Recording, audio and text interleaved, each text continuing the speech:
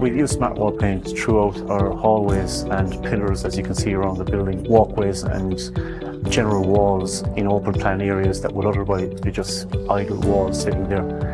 So we use smart wall paint to bring the walls alive, basically. All walls in the room can be used for, for various different projects or parts of projects that are going on and can be wiped down in minutes and can be reused by another team coming in. So it's very flexible, I suppose. We found very useful for us at SAP.